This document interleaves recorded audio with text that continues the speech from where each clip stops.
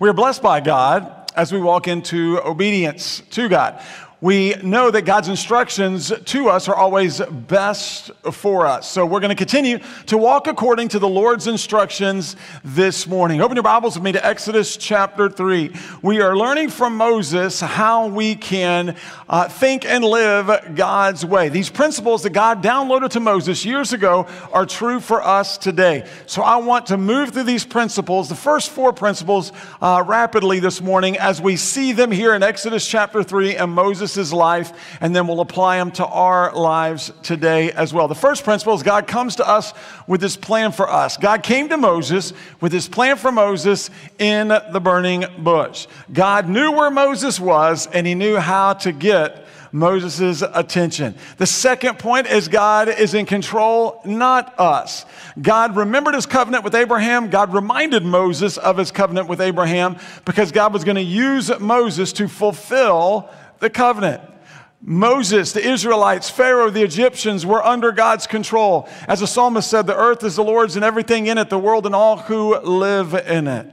The third principle is God's plan for us is clear to us. In verses 9 and 10 of Exodus chapter 3, we read So, because the Israelites' cry for help has come to me, and I have also seen the way the Egyptians are oppressing them, God told Moses, Therefore, go I am sending you to Pharaoh so that you may lead my people, the Israelites, out of Egypt. God's plan for Moses was clear to Moses go to Pharaoh.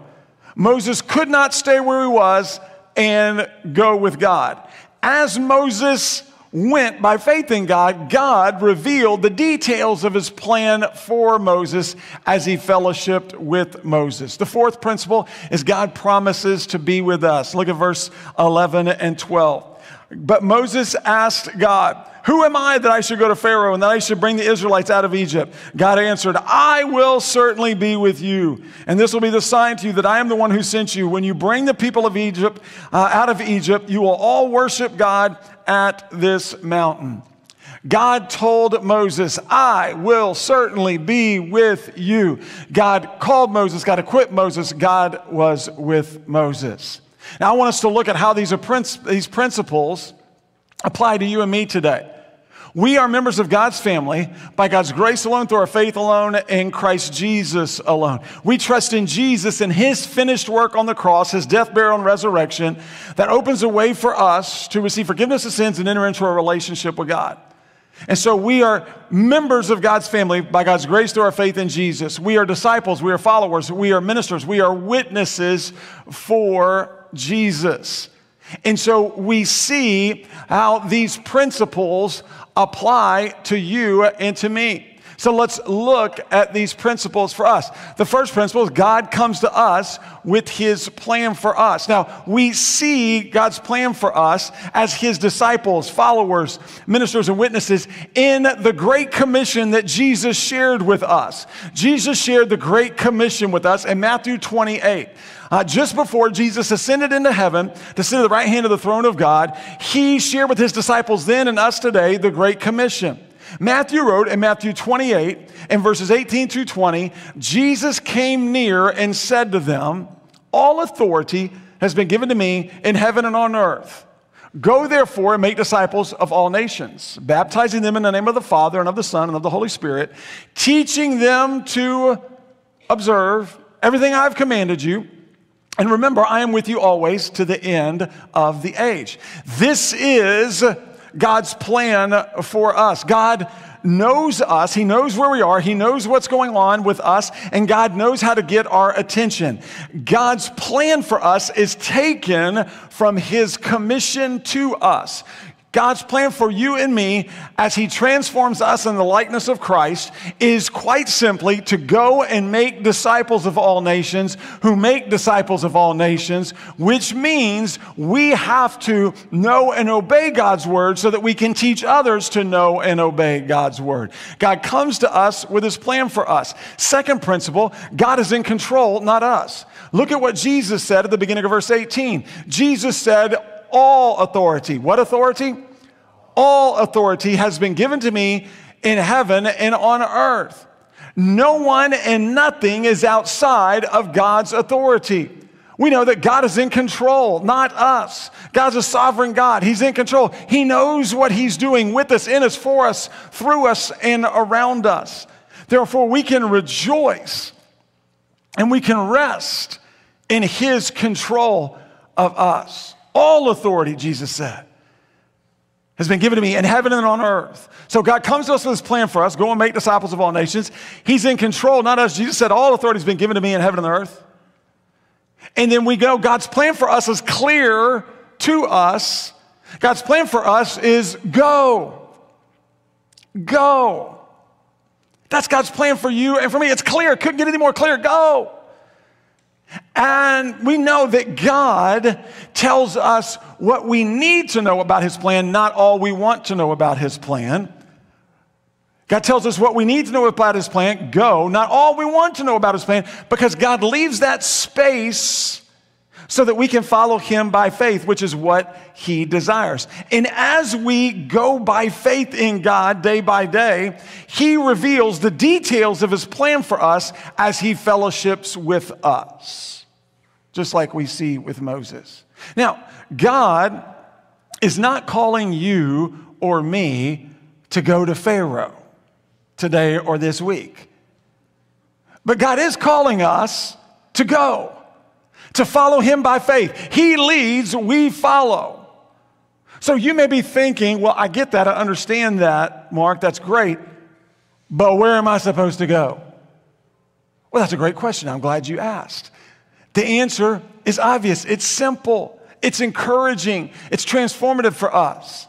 Go to your wife. Go to your husband. Go to your children. Go to your family. Go to your friends. Go to your brothers and sisters in Christ. Go to our church. Go to your jobs. Go to your workplaces. Go to your meetings in person. Go to your meetings online. Go to your extracurricular activities. Go to your schools. Go to your universities.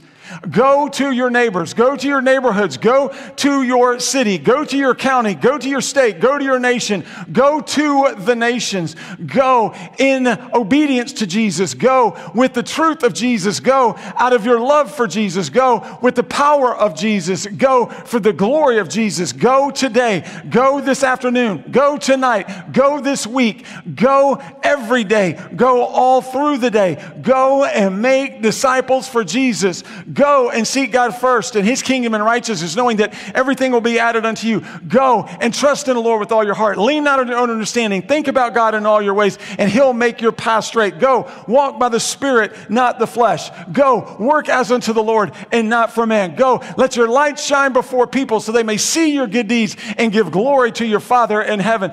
Go and be kind and compassionate toward one another, tenderhearted, forgiving each other, just as in Christ God has forgiven given us. Go and comfort one another with the comfort you have received from God Himself. Go and consider it a great joy whenever you face trials and tests of many various kinds because you know the testing of your faith develops endurance. Endurance must have its full effect in your life so that you can be mature and complete, lacking nothing. Go and don't let any unwholesome talk come out of your mouths, but only what is helpful for building others up according to their needs so that it may benefit those who listen. Go and encourage one another daily as long as called today so that none of you is hardened by sin's deception. Go and keep Keep on fighting the good fight of the faith. Go and, do, and be sober minded and alert, for your adversary, the devil, is prowling around like a roaring lion, looking for anyone he can devour. Go and be strong in the Lord and in his vast strength. Go and put on the full armor of God so you can take your stand against the schemes, tactics of the devil. Go and make every effort to keep the unity of spirit through the bond of peace. Go and serve one another in love. Go and speak to one another in truth, God's truth to one another. Go and worship the Lord in spirit and in truth. Go and love your wife as Christ loved the church. Go and encourage and support your husband as unto the Lord. Go and raise your children in the nurture, training, and admonition of the Lord. Go and love God with all your heart, soul, mind, and strength. Go and love your neighbor as yourself. Go and love Christ as he has loved us. Go and do unto others as you would have them do unto you. Go and humble yourself before the Lord, and he will lift you and do, lift you up in due time, which is the right time. Go and follow Jesus Jesus and He will make you fishers of people. Go and make disciples for Jesus. God's plan for us is clear to us. Go, go, go. You and me, praise the Lord. Give God a hand. Give God a hand. Let's give God a hand. Go, go. Fourth principle God promises to be with us. God calls us, God equips us, God is with us. Notice what Jesus did. As he ended the Great Commission, Jesus said, Remember, I will be with you always to the end of the age. Say always. Say always. How long? Always means always to the end of the age, forever. So here's how it works when God saved us, He placed His Holy Spirit in us. We're never alone because God is with us by His Holy Spirit in us. So, whatever He calls us to do and wherever He calls us to go, as we go, He's with us. Since God is with us, He will empower us to fulfill His plan for us and His strength for His glory. And so we see these principles. True for Moses, true for us today, which brings us to the fifth principle. The fifth principle is an important principle for you and me to understand, to apply in our lives. Here's the fifth principle that we see this morning God gives us a choice. God gives us a choice. Look in verse uh, 10 once again. God spoke to Moses, Therefore, go. I am sending you to Pharaoh so that you may lead my people, the Israelites, out of Egypt. God gave Moses a choice to go.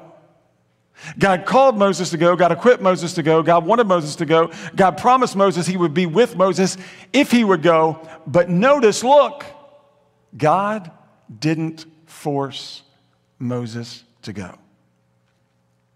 He didn't force Moses to go. God wanted Moses to go by faith in him and obedience to him. God gives you and me a choice today, and He's giving you a choice even in these moments as He's speaking to us. He's giving us a choice to go. God commands us to go, God equips us to go, God wants us to go, God promises to be with us as we go, but listen, God's not going to force you or me to go. God wants us to go by faith in Him and obedience to Him. Jesus made this clear to us in the Sermon on the Mount. Sermon on the Mount, quite probably the most impressive and most powerful and the greatest sermon ever preached, ever recorded in Scripture.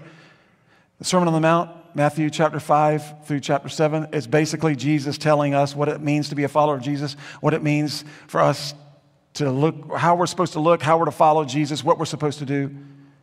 And as Jesus finished the Sermon on the Mount, here's the words that he said He said, Everyone who hears these words of mine and acts on them is like a wise man who built his house on the rock. The rains fell, the rivers rose, the winds blew and pounded against that house, but it didn't collapse because its foundation was on the rock. Everyone who hears these words of mine and doesn't act on them is like a foolish man who built his house on the sand. The rains fell, the rivers rose, the winds blew and pounded against that house, and it crashed. With a great crash, its foundation was on the sand. God wants us to go by faith and act on His word. God wants us to go by faith and obey His word. God wants us to go by faith today and love one another. Jesus said, A new command I give you love one another.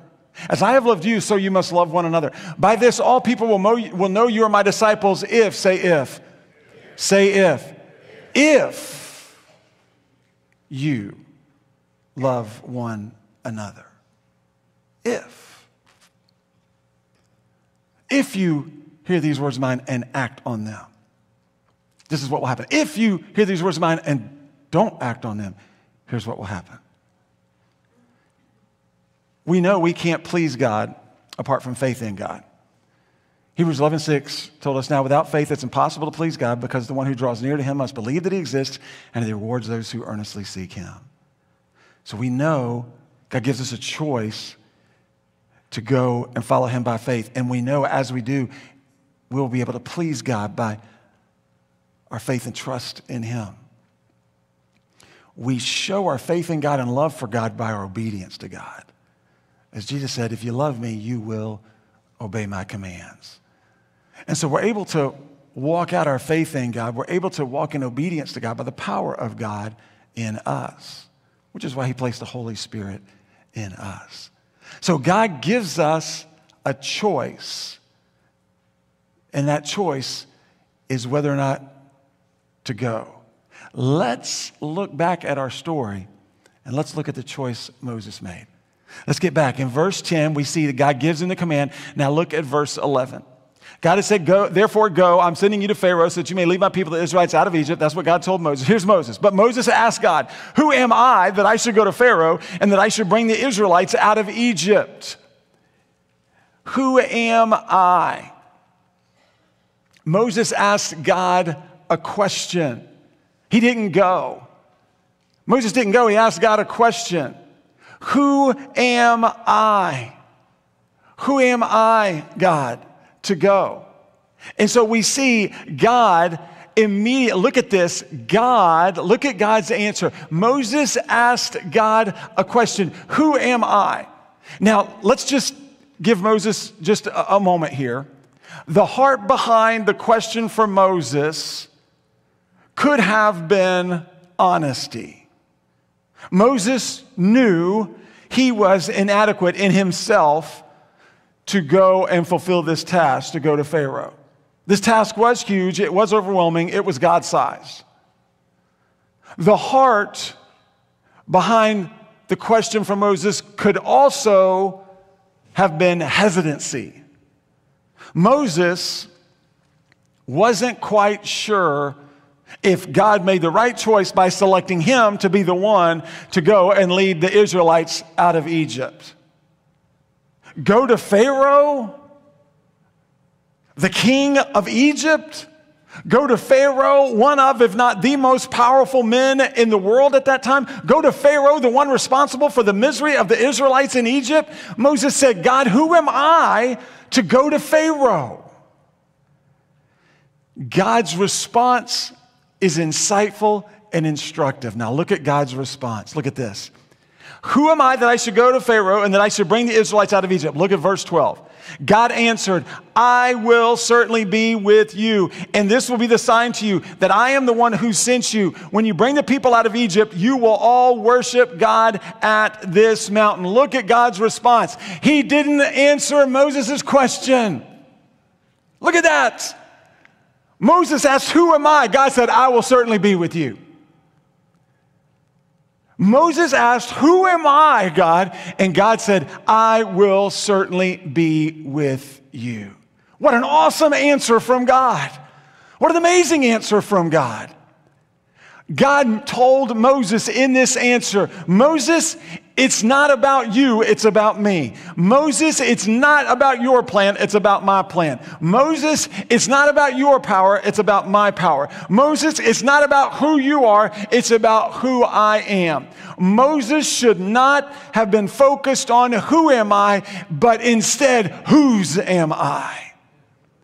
And what God did in this response is God promised Moses his presence with Moses, which was the greatest answer that God could have ever given to Moses. Success was guaranteed for Moses because God promised to be with Moses. God gives us a choice to go every day, day by day, all through the day. Like Moses, we often respond to God and say, Who am I, God, to go for you? Who am I, God? Who am I, God, to be a godly husband? Who am I, God, to be a godly wife? Who am I, God, to be a godly father? Who am I, God, to be a godly mother? Who am I, God, to be a godly single adult? Who am I, God, to be a godly teenager? Who am I, God, to forgive those who have hurt me? Who am I, God, to help those who are struggling? Who am I, God, to know what decision I need to make in this very important area of my life. Who am I, God, to lead the people on my team? Who am I, God, to make peace out of the conflict that is going on around me? Who am I, God, to raise godly kids in an ungodly world? Who am I, God, to know how to answer my kids and the questions and the comments that they're hearing from the world that continue to bombard their hearts and their minds that are opposed to the Word of God? Who am I, God, to look into the Word and to answer my children so they can live your way? Who am I, God, to stand firm in my faith for Jesus in a world that is opposed to Jesus? Who am I, God, to invite my friend to church? Who am I, God, to invite my coworker to church? Who am I, God, to witness to my family member? Who am I, God, to witness to my friend? You see, Satan loves to lie to us. He loves to discourage us. He loves to discourage us by his lies to us, by telling us who we aren't, what we can't do, and how many times we failed God before. And God Almighty is saying to you and to me this morning, He's responding to us the same way He responded to Moses. When we say, Who am I, God? God says to you, and He says to me this morning, I will certainly be with you. I will be with you. Our Almighty God is with us. So, what is our application this morning? What's our takeaway as we look to serve the Lord today and this week? It's real simple go, follow God by faith. Whatever He says, wherever He leads, go go. And as we go, God reminds us life isn't about us, it's about Him. This isn't about our plan, it's about His plan. This isn't about our power, it's about His power. This isn't about who I am, it's about who He is. I should not be focused on who am I, but instead, whose am I? You should not be focused on who you are, but whose you are. We are weak, but He, say it with me, He is strong. We are weak, but He is strong. Will it be easy for us to go? No. Will it be smooth as we go? No. Will our enemy and his demonic forces of evil just take his hands away from us and decide, oh, well, they're going to go by faith today, so I need to leave them alone? No.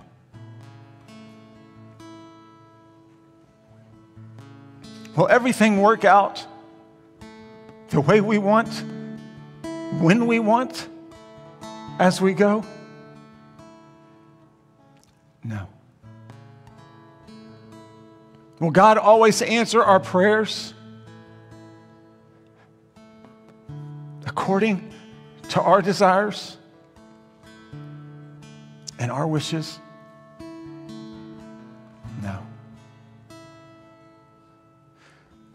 Will, be, will we be free of opposition and ridicule and criticism as we go? No. But the singular most important question is simply this Will we succeed as we go? Yes. Because God is with us. He is with us. We are never alone. And He watches over us, and He loves us, and He continues to work in us, and He continues to empower us to follow Him by faith in the midst of all that continues to come against us. Don't miss what we see in verse 12. And I'll just end with this. This is how amazing our God is. It's how gracious and loving He is. How awesome He is. He says to Moses, Hey, Moses, I'm going to give you a sign that I am the one who is sending you to go because I know it's going to be difficult for you, Moses, and I know you're going to do everything you possibly can to get out of going. I know you're going to hesitate, Moses. So I'm going to give you a sign. Moses, when you lead the people out of Egypt, you're all, you're all going to worship God on this mountain. Horeb, the mountain of God, Mount Sinai, where God was speaking to Moses about his plan for Moses at that very moment.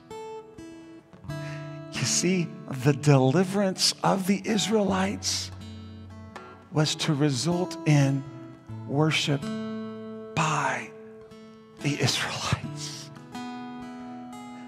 God's plan for us is to result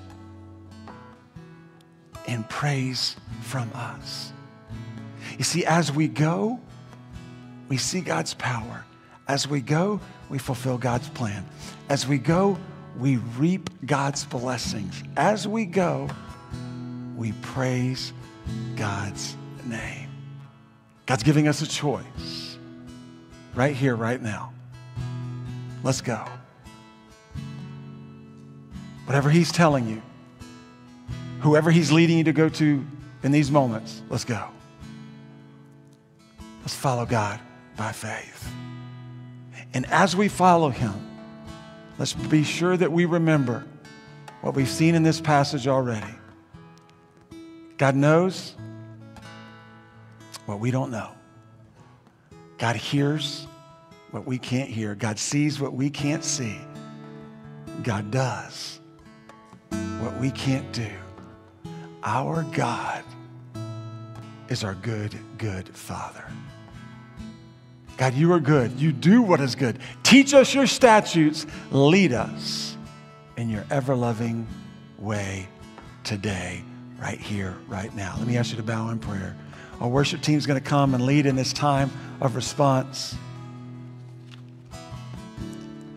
Let's respond to the Lord this morning. If God's telling you to go and come and kneel and pray, then go and come and kneel and pray. If God's calling you and telling you to go and encourage a brother in Christ to, to love on your husband, the father of your children, then go and encourage the father of your children. Love on the father of your children. If God's encouraging you to pray blessings upon blessings upon blessings on your brother in Christ or sister in Christ, grow. If you have a need, a care, concern, go and pray. If God, uh, if you know someone who's struggling and God's calling you to go and love them, encourage them, support support them go, as folks are already doing now. You don't have to wait.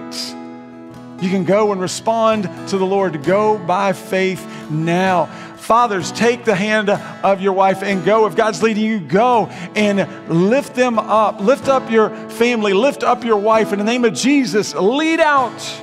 Lead out for your family right now and pray God's blessings over your wife. Pray God's blessings over your children. Our pastors, our ministers will be singing in the front. They would love to pray with you, pray for you.